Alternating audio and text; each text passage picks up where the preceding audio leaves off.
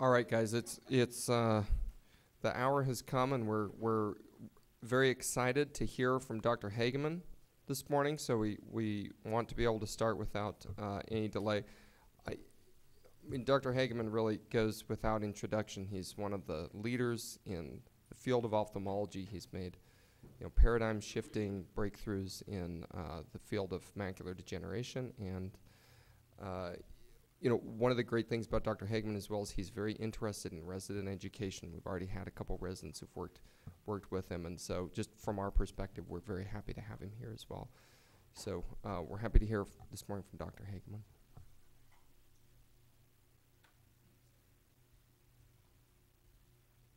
So thank you, Derek. Um, I hope uh, the very excited part is true for all of you, so I expect a lot of enthusiasm here. So, no, it's, it's really great to be here. I thought what I'd like to do is just share a couple things uh, that we're doing on the research side of AMD, and if we have time at the end, I thought it might be appropriate to tell you a little bit about the Center for Translational Medicine.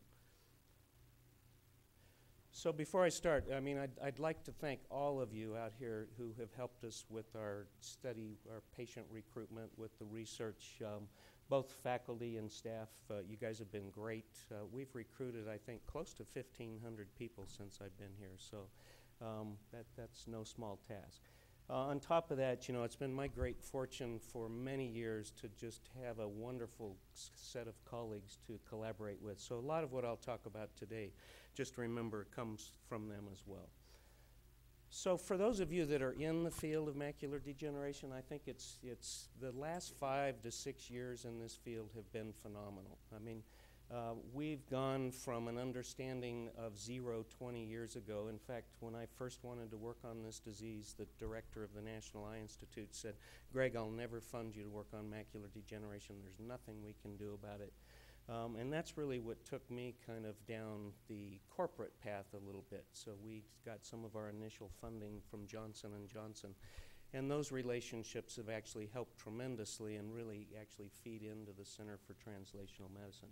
But about five years ago, I, I, like to think of it as a convergence. We had incredible amounts of clinical data, genetic data, biological data. All of that kind of came together and really started pointing us towards uh, the identification or clarification of pathways that associate with the disease. You know, we started 20 years ago with a very simple concept, and that, that was, you know, what are these drusen that form in the back of, of eyes in individuals with this disease? What are they comprised of? And if we could learn something about that, would it teach us something about the biology of the disease? And that went on for probably 15 years, and we made the startling discovery, I think, at the time, that drusen were comprised of proteins associated with inflammation. Okay, and that was not um, um, a well touted concept, you know, 10, 15 years ago. We took a lot of flack for that. Uh, and I'm not sure why, but nobody really wanted macular degeneration to be, uh, to have these immune mediated pathways involved. But interestingly enough, those observations that the complement system was very overrepresented in drusen, and the idea was then that there's activation of complement at the RPE choroid interface, and that is uncontrolled. Uh, and it's uncontrolled because there are mutations in this complement factor H gene. So the first big discovery of a gene uh, that associated with AMD uh, was that of complement factor H. Our group quickly showed that there were some uh, associations with some of the other complement genes in that locus and on other chromosomes.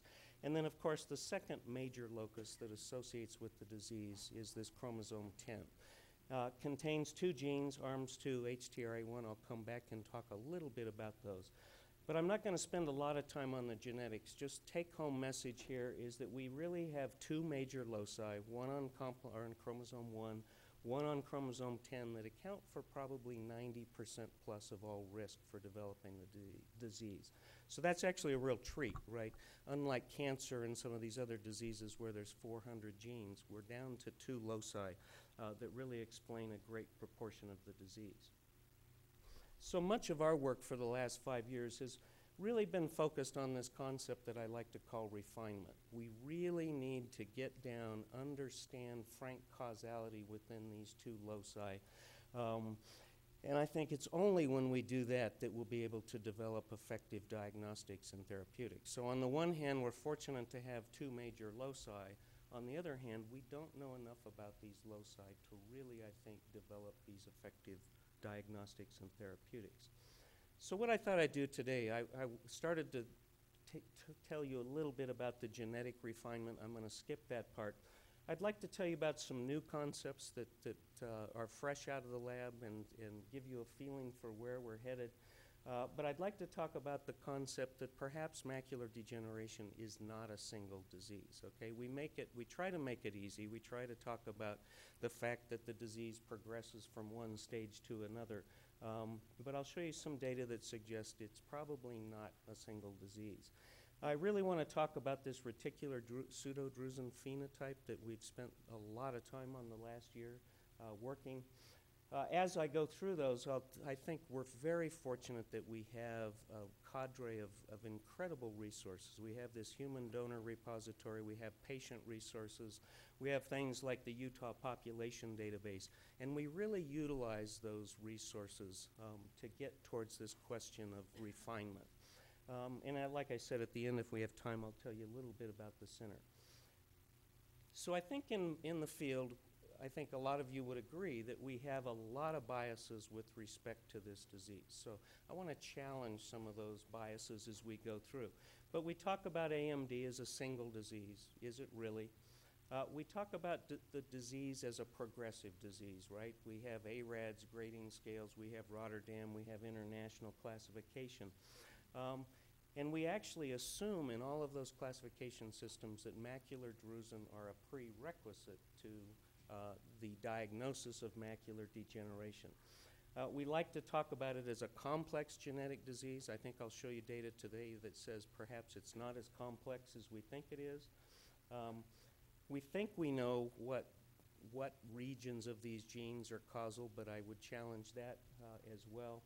And, you know, I think we're forgetting with a lot of the new instrumentation, the imaging modalities we have, we're kind of forgetting the fact that we have a lot of subphenotypes within the disease, right? Good example is choroidal neovascular disease. We have all kinds of phenotypes, and the question is are those genetically determined, um, and are they really the same? So I throw this up um, not, not to give you a, a, lecture on, on the stages of macular degeneration, but again to remind you that we've classified this disease based on the presence of macular drusen. In fact, you don't really diagnose a patient with the disease in the absence of macular drusen. And then we talk very often about this disease in 20% of patients progresses to one of the advanced stages, right? Uh, choroidal neovascular disease or geographic atrophy. And I'll remind you that even if you look at these advanced stages, so clearly in geographic atrophy, there are multiple very distinct phenotypes, and we need to understand those phenotypes, especially the genetics behind the phenotypes, if we're really going to use these phenotypes, for example, in treatment trials, right? So the FDA has allowed uh, reduction in, in lesion size, if you will, as a surrogate endpoint. But if really these different phenotypes are distinctly different genetically and biologically, then every trial out there will fail. And I think that's what we're actually faced with right now. And I think we've lost track of this. Um, not only are there multiple phenotypes in advanced disease, there are multiple phenotypes uh, with respect to drusen. You know, we have these large fluid-filled drusen. We have what I like to call substance-filled drusen. And then we have things that look like drusen, which in this case, this is basal laminar deposit you can see in the electron micrograph. This material is never going to go away with any drug treatment. So we need to know how to image these, these various drusen subphenotypes, I think, um, because clinically they very much can look the same as large soft drusen. Um, so again, focusing on clinical trials, uh, we need to understand what we're looking at. And then, of course, there are, uh, we're, we're learning that there are entities that we've all called drusen clinically that aren't drusen at all. And I'll come back and talk about this reticular drusen phenotype. So let me talk about this concept that perhaps um, AMD is multiple diseases. So When I first came here two years ago, I was bored for the first few weeks. And I actually dug into the Willow database and was actually very surprised. Um, I actually was very interested in patients that looked like this, that went and straight to geo- geographic atrophy or CNV without ever having any macular drusen. And when I went into the Moran databases and looked at, I think we looked at about 9,000 patients that had uh, a history of CNV, 18% of those patients never had the diagnosis of macular drusen. So they looked like this and they drove straight to neovascular disease or geographic atrophy. So what's that all about? And that got me thinking a lot about these two major loci. So let me try to tell you what I've done with this slide. We've just taken two cohorts, the Utah cohort, actually three, um, the Utah cohort, the Melbourne cohort, uh, and a part of my Iowa cohort.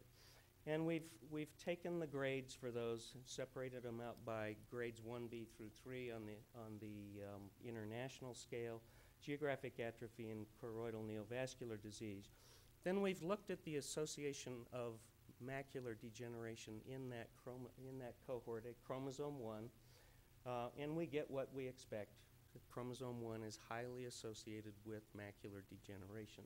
Uh, if we do the same thing for chromosome 10, same result, very strongly associated with, um, with chromosome 10. Interestingly, what we've done here is we've taken all the patients in the cohort out that had risk at chromosome 10 and reanalyzed the association with chromosome 1. Again, we get strong p-values, um, including strong p-values for the advanced forms of the disease. If we do the opposite, if we take out all patients that carry risk at chromosome 1, reanalyze the cohort, uh, we get very strong association with late stage disease, but interestingly enough, absolutely zero association with drusen. Okay, so put another way, uh, chromosome 1 and chromosome 10 dictate very different forms of macular degeneration. Uh, and in fact, um, chromosome 10, as I said, associated with only late stage disease. We've taken that a step further, and it turns out that even on chromosome 1, that grades 1 and 2, so drusen grades 1 and 2, don't associate with either chromosome 1 or 10. So I think we've misled ourselves a bit with this drusen thing. Um, so just remember, when you see that patient with a lot of small hard drusen, that probably patient is not associated with the disease um, at all. So the message here is late stage disease can segregate independently with either chromosome 1 or with chromosome 10.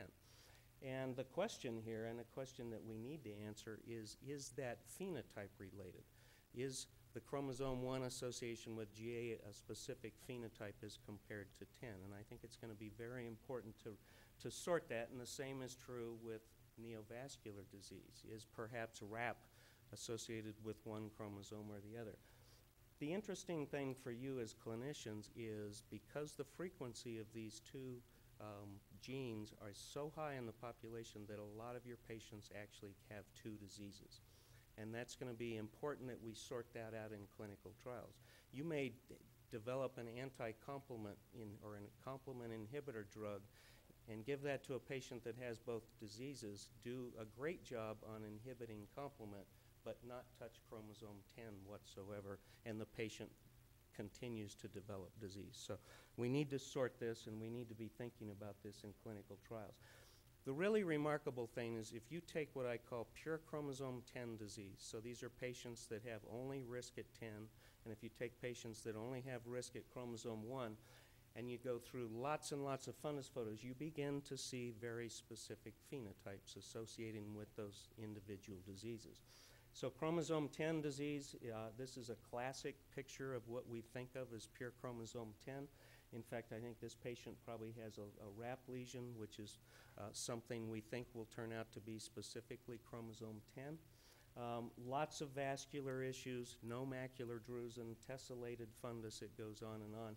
Chromosome 1, not a terrible disease, but of course characterized by the presence of macular drusen.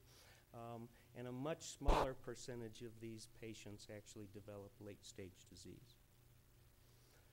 So another thing that, that I'm very fond of is I've had kind of this hobby of traveling around and the idea was let's go to ethnic groups that have uh, different forms of macular degeneration or have a prevalence of one form or the other or don't have any disease at all. And let's ask the question if the genetics of those patients will help us sort this Caucasian genetic issue. Um, because, of course, in Caucasians, for some reason, the prevalence of these minor risk alleles for both chromosome 1 and 10 are very high. So it turns out that in our African cohort, I think we've never seen a patient with choroidal neovascular disease, and we've looked really hard. African patients are characterized very much by macular drusen, association with chromosome 1, zero association with chromosome 10. Um, Asian populations, completely the opposite story. Lots of neovascular disease, strong association with chromosome 10, very weak, if any, association with chromosome 1, and, and almost no macular drusen in, in those ethnicities. So, just something to think about. We have a lot to do on this front. Uh, we would welcome any help, but just a take home message would be that chromosome 1 associates with both early stage, so drusen, and late stages of AMD. Chromosome 10 associates only with late stage disease as an entity, right? Remember, lots of your patients will have both diseases. Um, these advanced forms segregate independently amongst these two chromosomes, and I think our job now is to really ask the question about subphenotypes of these diseases. Um, and then chromosome 1 and 10 directed AMD uh, really give us specific phenotypes in their purest form. So I think it suggests that perhaps AMD is much more a monogenic disorder than we thought. The problem is a lot of patients have multiple diseases. So let me talk a little bit about this reticular pseudodrusen. Um, back to this, this issue of patients that develop um, macular advanced forms of macular without um, a lot of drusen. For those of you in the front row, you'll see that this patient has some white spots. I think we would have graded this patient probably a 1B. Um, but we were wrong because these, these little white spots aren't drusen at all. Um, and it turned out when I first came, we, we again were playing with this cohort of patients. And if you look at these patients with the infrared uh, mode on the spectralis, you see this just amazing pathology that associates with this individual's fundus. So, being a morphologist by nature, I was very intrigued by, by this phenotype. The question really was is it important or not at this point in time? Um, but this patient developed uh, CNV in this eye two weeks after we took this picture. So it really got me thinking. Um, at the time, we had visitors from Germany and Austria and Ireland here at the same time. So we really dug into the databases here uh, and realized that this very specific phenotype preceded a huge proportion of advanced stages of macular degeneration, both geographic atrophy and CNV, enough to get my interest. Um, Paul Yang uh, and others really worked very hard to look at some of the ERGs. So we started realizing that there were retinal um, dysfunctions associated with these, these patches or this particular phenotype. And I guess again, I was most struck by the fact that these lesions were very similar, very much spherical, very much the same size, and you know, that always gets my attention as a morphologist. So the issue really is um, is that phenotype that we're seeing using the infrared modality the same as this so called reticular pseudodrusen phenotype that's been described uh, primarily in color photographs? So uh, you know, this is a phenotype that Gisèle Soubrane's group first described a number of years ago. Uh, out at the arcades, typically characterized by this lace like morphology, um, but rare. I mean, this phenotype on colors, I think in our cohort only occurs about 1% of the time. So, one of the issues is is this the phenotype that we're seeing in infrared? And we have reasons to think that the two may not be the same, but we're trying to dig into that. Um, and importantly, if you look at this particular phenotype with OCT, uh, you get these very characteristic spikes that associate with uh, this phenotype. And it's been assumed that this represents, this material represents debris in the subretinal space. Uh, and I had a hard, a big problem with that because, you know, we've got 5,000 pairs of eyes that we've followed for many, many years, and I've never seen eyes with patches of subretinal debris. So this OCT image really bothered me a lot. Um, so we played around a little bit. I won't bore you with the details, but if we change the angle of the laser on the spectralis, um, these subretinal deposits actually line up with the angle of the beam. Okay, so suggesting to me that they're not in the subretinal space, or at least one piece of data. They actually pivot. So you'll notice that there's also shadows that associate with each of those subretinal spikes. So there's a reflection and there's a shadow, and actually there's a pivot right in the middle, which is, sits here right at the RPE choroid interface. So kind of a fun experiment. We also went into the repository and looked at, I don't know, about two or 3,000 eyes. Um, and the bottom line from that analysis was, yes, there are subretinal deposits. When photoreceptors die, you get subretinal deposits. But no way were they arranged in the same topographical pattern as we were seeing in these infrared images. And I think the big contribution we made, which hadn't been realized, is if you take a scan through um, one of these individuals that has a lot of these particular lesions, it's only where the scan crosses through the middle of one of these donut-shaped structures that you actually get one of these spikes. Okay, so that means, you know, what looks like a random distribution of material here in three dimensionality it really has to be very precise. So not only would you have to have subretinal depo deposits that were pretty large, they would have to be very regularly spaced, and that's just not happening. Um, so that really brings us to the issue of we spend a lot of time measuring these. These, these lesions are about 250 to 350 microns in diameter. And so for those of you that, that don't know the story, any guesses on what the nature of these? So they're round, they're 300 microns in diameter, they're pretty much macular specific. So what do we know in the macula that's, that's follows that kind of topology? So they, I think the answer was, was amazing. Um, you know, we know from the literature that the choriocapillaris in the macula exhibits a very unique morphology in the macula. And that morphology is manifest by these round lobules of capillaries. Each is fed, interestingly enough, by a central arteriole that actually comes in and at a very strong right angle to each of those capillary lobules. Um, and interestingly enough, if you go back to the old literature, um, the size of these lesions that we're seeing in the pseudodrusen phenotype matches up very nicely with this choriocapillaris morphology. As the choriocapillaris, as you get out to the arcades, uh, that capillary structure actually returns to kind of a parallel arteriovenous system. So in the macula, very specific lobules um, and incredible pathology. Uh, if we take this image and we do some high resolution scans um, that are available with Heidelberg, you can actually begin to appreciate that this morphology we're seeing on infrared uh, is very much similar to that choriocapillary plexus. Um, lots of old literature. It's a fascinating subject. Um, this is a paper that was published in 1976, but uh, shows you this is a flat mount of choroid from the macular region, but shows you how these lobules are really distributed in the macula specifically. So we spent a lot of time asking functional questions. We knew a little bit about the multifocal ERG results that um, uh, retinal function was decreased over patches of the pseudodrusen. Um, we did a lot of angiography, and the story was basically always the same. Uh, in late stages of the angiographs, you can actually see the recapitulation of these uh, lesions that were seen on infrared, and they align perfectly.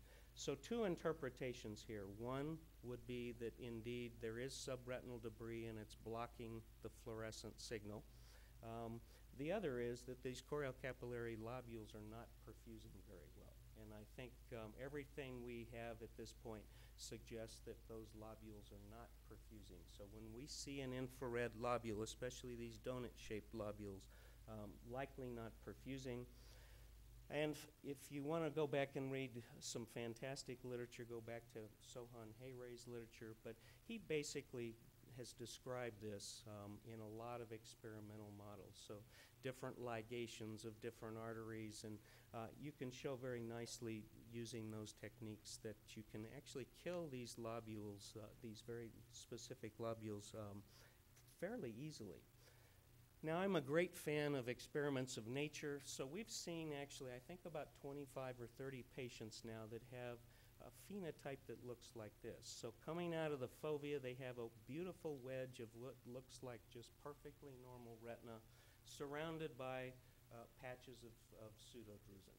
And if you do fluorescein angiography in, in patients like this, um, it's not a great picture, but what you'll see is the choroid under this region fills on time and, and as it should, whereas the choroid back here is not filling uh, very well at all. And interestingly enough, um, these, these morphologies, these segmental patterns, very much match the, the distribution of the posterior ciliary arteries uh, in the back of the macula, and probably uh, very nicely match these watershed zones that Sohan Hayreh uh, has so elegantly described. So the idea here is the vessels that are feeding this particular wedge of retina are perfusing just fine, whereas these ciliary arteries that are feeding the rest of this fundus are not. So suggesting to me that perhaps what we're looking for is an occlusion further back in the orbit.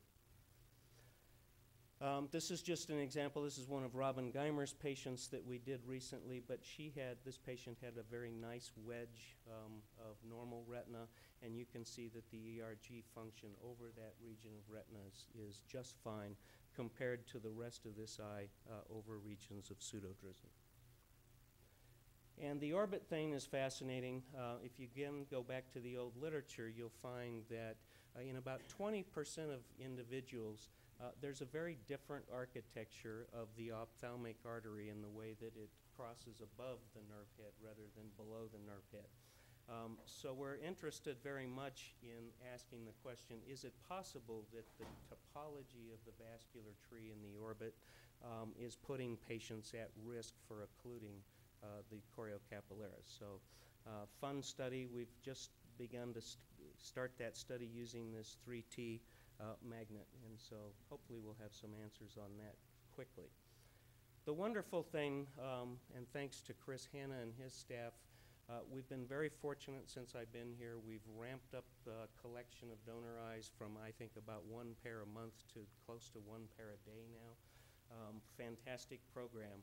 But we focus very much on trying to recruit um, donors um, who were previously study patients here at the Moran. So Interestingly enough, in the last, I think, six months, we've had about 29 of our patients that have become donors. So we have all of their clinic data.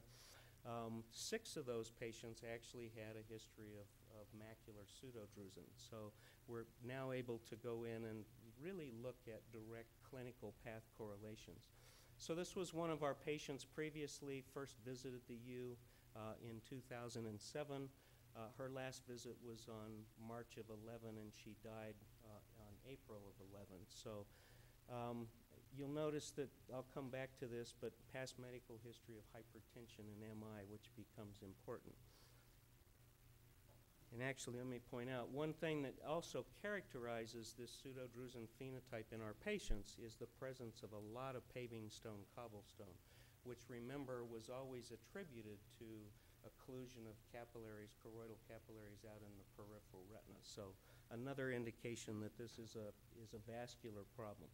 So this was the patient on our last visit. Um, lots of pseudodrusen. This line here is, is the plane of which the section that I'll show you next was taken.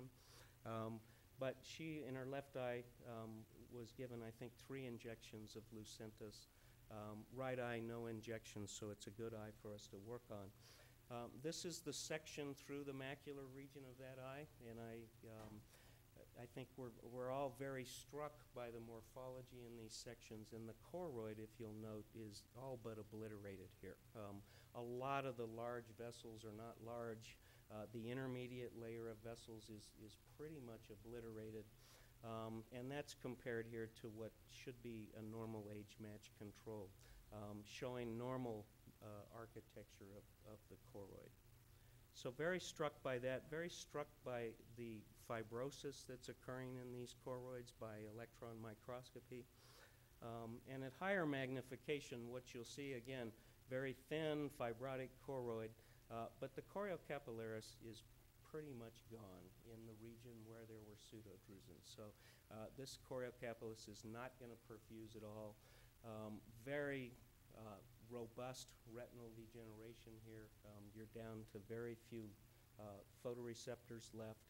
And I think um, very characteristically, that little arteriole that I told you comes in at right angles to these lobules uh, exhibits all kinds of hyalinization. So this is a classic small vessel disease, very much like you'd see uh, in the brain of, of individuals with small vessel disease atherosclerosis. Um, interestingly, in Asian patients with polypoidal choroidopathy, uh, you see the same type of phenotype, a lot of hyalinization uh, that goes along with polypoidal or formation.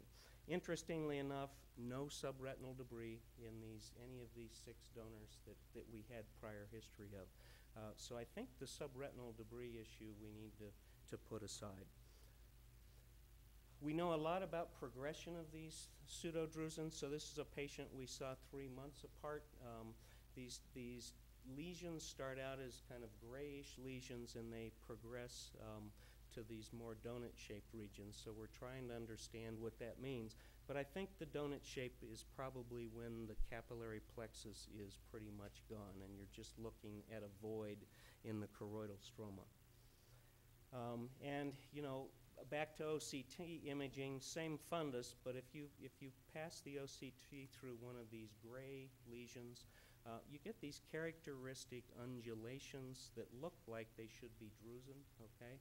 Uh, whereas if you pass through one of the donut-shaped structures, then you get the projection into the subretinal space.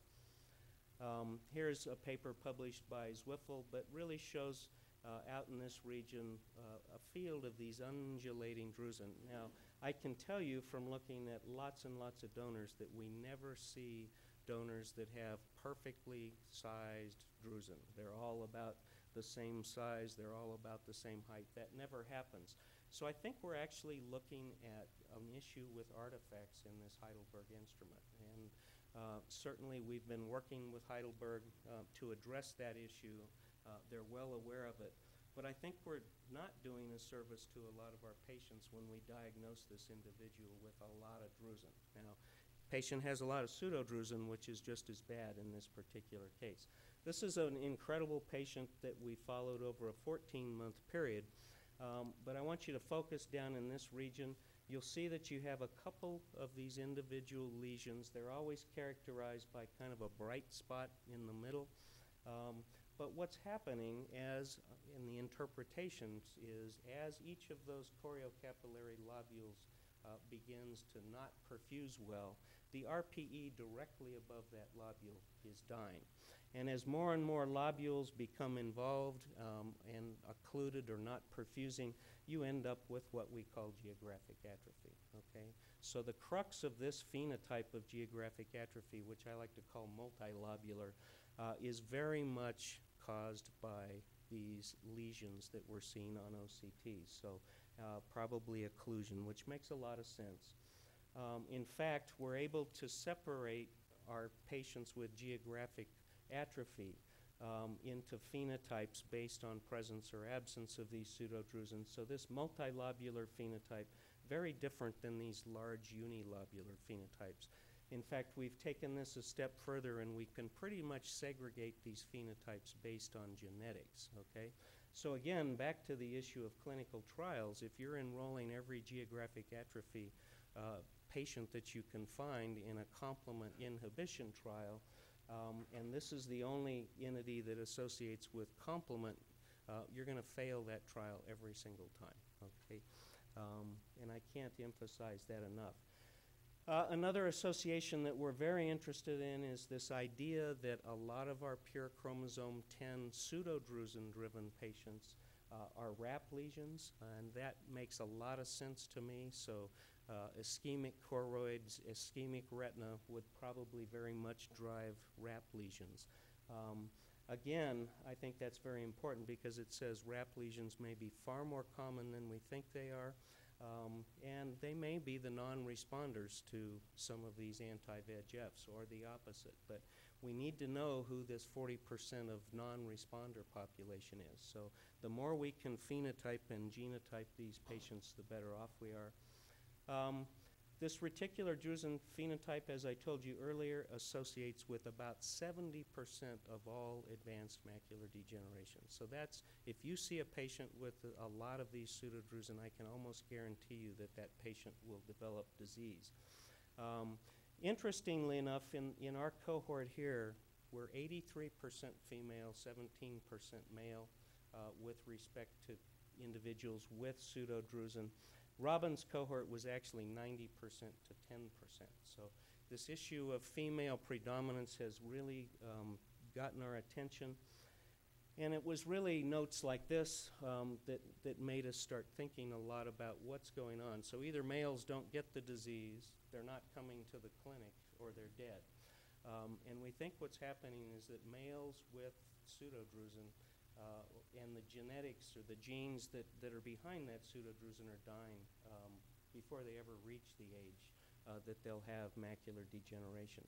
And we've seen a lot of families like this. We had one last week, uh, uh, man with seven brothers who have all died from MIs in their 40s and 50s. He's the only survivor.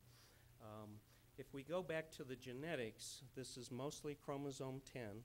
And it looks like if you're homozygote risk for chromosome 10, um, that, and you're a male, you're dying in on an average of about 12 years earlier than our female patients with that same genotype. So, but it gives us some clues. I think it'll get us into some pathways that are important. Um, we've dug into the Utah population database. We're just starting to get some data with respect to what diseases co-segregate with pseudodrusen, what diseases co-segregate with pure 1 and pure 10 disease. Uh, but it does look like myocardial infarction and some other cardiovascular diseases are very strongly associated with chromosome 10 and pseudodrusen. In fact, I think we just looked at the numbers between Robyn's cohort and mine, which is about 5,000 patients. Um, if you pull all the individuals that are homozygous risk at 10, we only have six that don't have any macular degeneration uh, at all. So um, it's really a very powerful diagnostic uh, if you're homozygous risk at that particular locus. So we've just started a very nice collaboration with Intermountain uh, with the cath lab there, uh, 20,000 patients with very well characterized disease and DNA samples. So we can come at this question from the, from the other direction.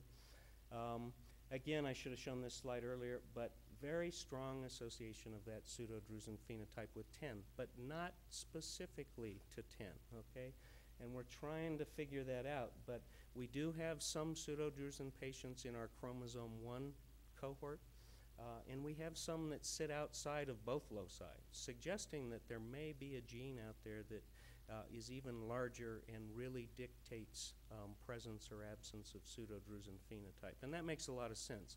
You know, you carry gene X and you also carry chromosome 10 risk and it exacerbates whatever that gene X is doing. So um, we're very much wanting to move forward.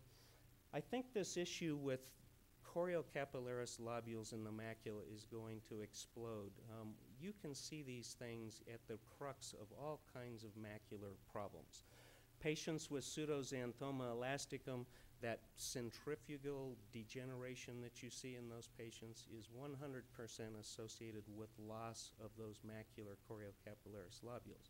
And yet the gene for that disease is very different. Uh, we know what that gene is, and it's not chromosome 1 or 10.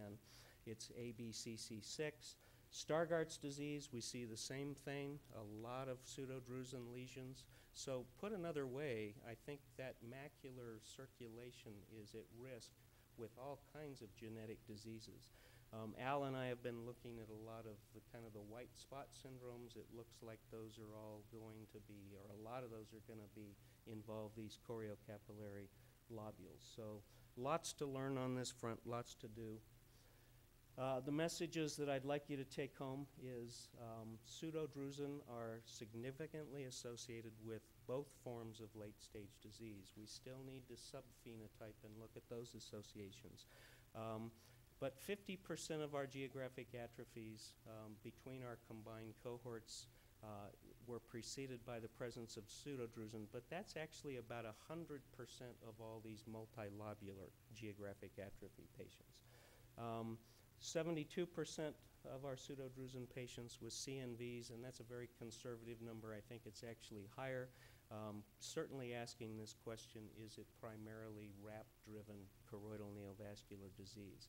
Strong association of pseudodrusen with the chromosome 10 locus, but not unique to the chromosome 10. Female predominant, uh, thinking that we're really looking at a small vessel disease, uh, which really gets us into that whole issue about co-segregation of other diseases. Um, and we do have some nice data that really suggests that, that that will fall out the way we think it will fall out. So let me take five minutes and tell you just a little bit about the Center for Translational Medicine. Um, for those of you that don't know a lot, you know, when I was recruited here, um, very much wanted to, to do something on the translational front. And the question really, you know, you kind of come and you say, okay, I'm here, uh, what are we going to do? We spent a lot of time as a leadership group over the first year I was here trying to decide what this center should look like. And the upshot of that is we're very much focusing the center at this point in time uh, towards the, I would say, identification and validation of therapeutic targets for macular degeneration. Um, on top of that, very much interested in propelling forward uh, the diagnostic world on this front. Um, but the focus of the center, not exclusively, but the real focus um, uh, at this point in time is really on macular degeneration and these co-segregating diseases.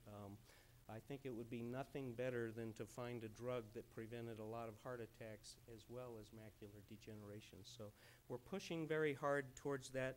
Um, we've spent a lot of time, I would say, in the last year really building the operation. You've all seen the space on the second floor. That's to house the clinical operation. We'd really like to increase the number of study patients that are coming through the center.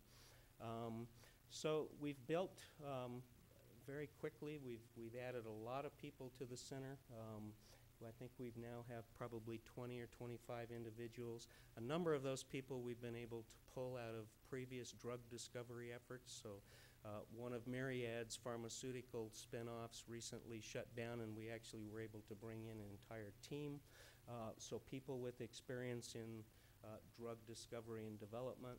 Uh, wonderful group of personnel. I would encourage all of you to make your way to the sixth floor uh, and meet some of these people.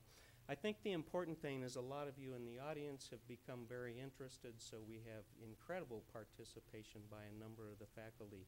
Uh, Yingbin, Al Vitale, Paul Bernstein, uh, et cetera, et cetera. So that's been a lot of fun for me. Meg DeAngelis. Um, We've, we're pushing very hard on the intellectual property front with respect to some of the data I just showed you. In fact, we have four patents that are due at midnight tonight, so if my eyes are a little baggy, that's why.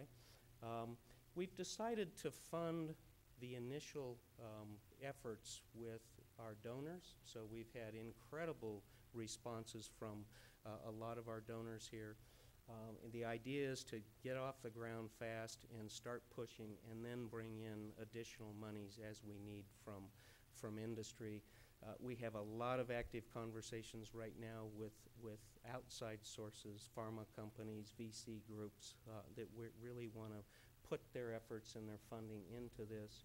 Uh, of course, we're building resources. I think that's the crux. So it's the people and the resources that are so important to this. Um, and of course, the partnerships and alliances. So I've talked a lot about the iBank. Um, incredible. It's been a lot of fun working with Chris and his staff. Um, we have lots of nice collaborations within the university and also because of my R24 outside the university. So I think we figure with my collaborative groups outside, we have access to right now about 28,000 well characterized patient samples.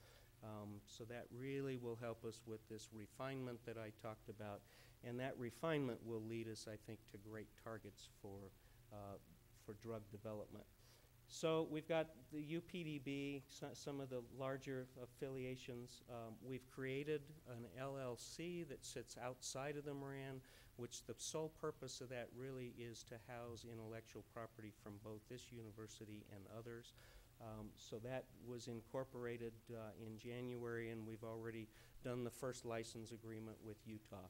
Um, and then, interestingly, I have a great relationship with Sequenom, a diagnostic company, um, and we're very hopeful that we will very soon announce the opening of a center of excellence for Sequenom that will kind of cover this entire uh, western region and be a place that people can come in um, for diagnostics.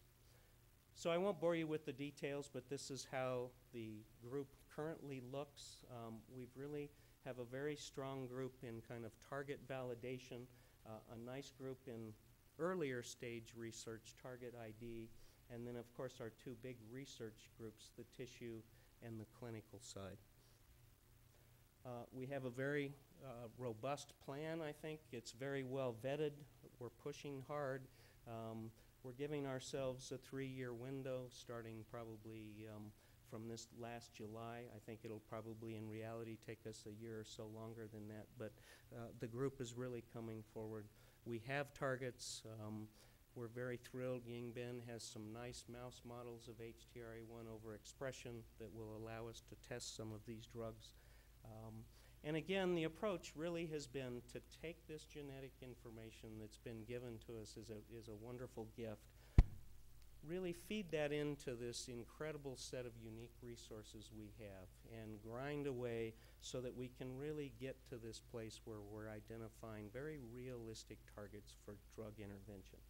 Um, so that's been the general approach. Uh, it's working very well, uh, and we're moving very quickly. So let me summarize today's talk by, I think, again, you know, we're looking at one of the best characterized genetic diseases that exist. And we're fortunate that we really uh, are down to two major loci. In fact, some of the minor loci we've been able to show as we segregate out have almost zero influence on the disease as an entity. Um, that being said, I think you know we have this incredible opportunity here at the Moran to take that information, refine our understanding of that information, um, and really gain a robust understanding of the pathways that are at the root of these different forms of macular degeneration. And again, uh, I can't emphasize enough that that's really where the Center for Translational Medicine comes in. Um, that we really need to refine our understanding before we can develop these drugs that target specific pathways. So with that, I'll stop and happy to take any questions.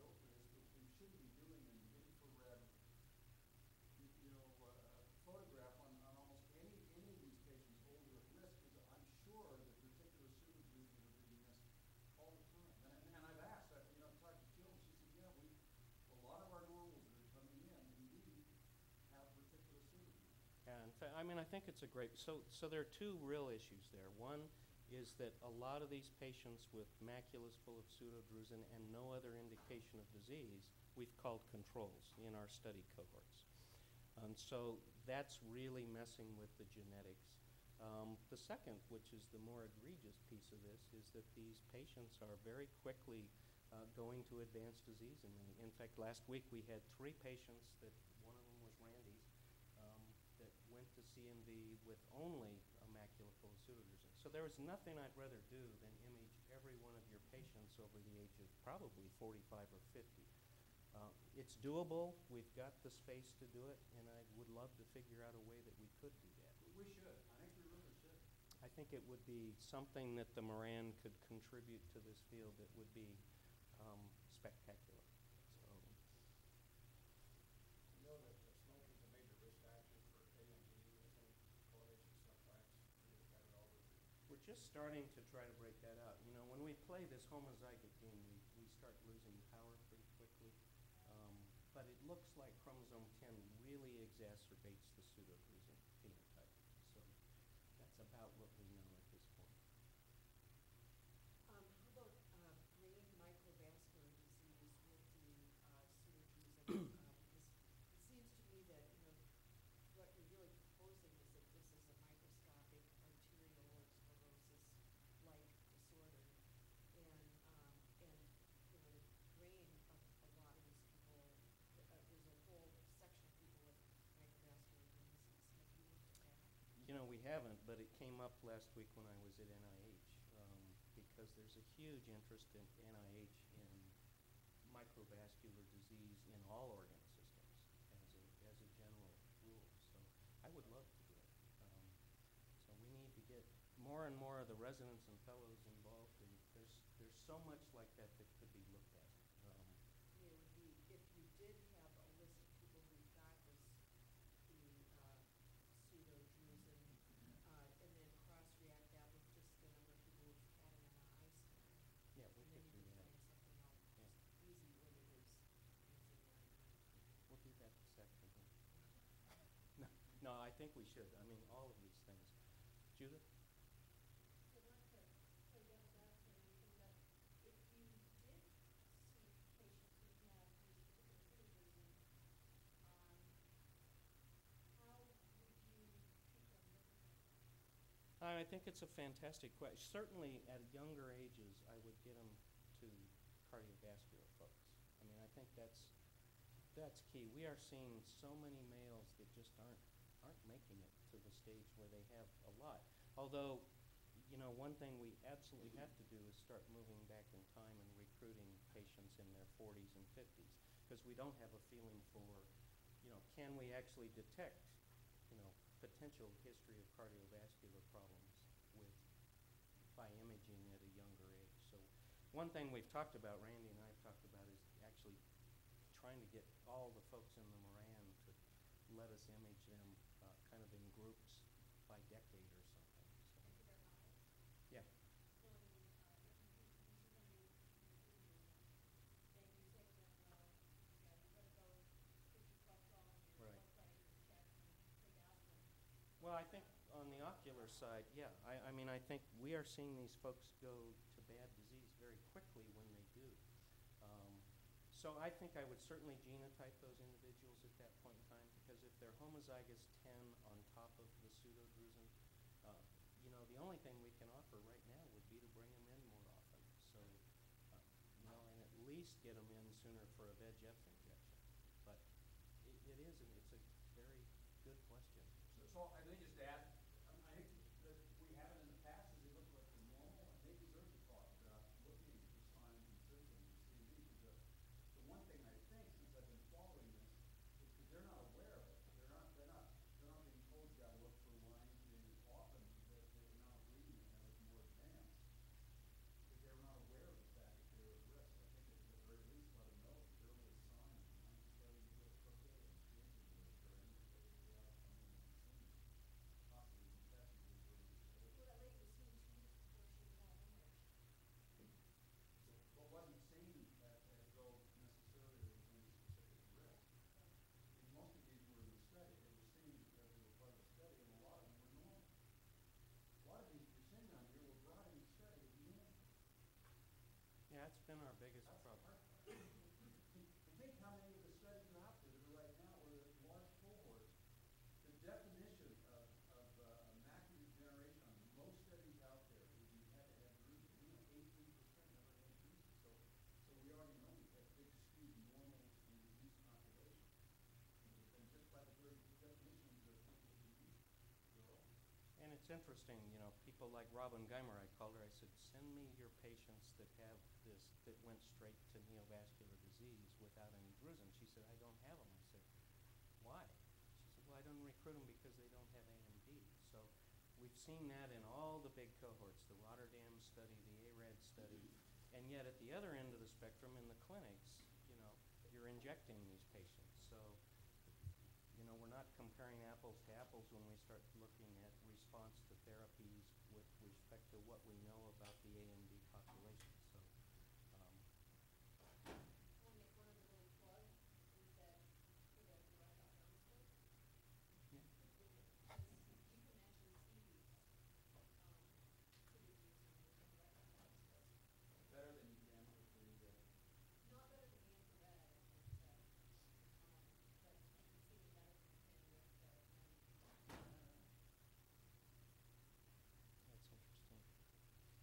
That's interesting. I can remember how to turn just that. have to have the.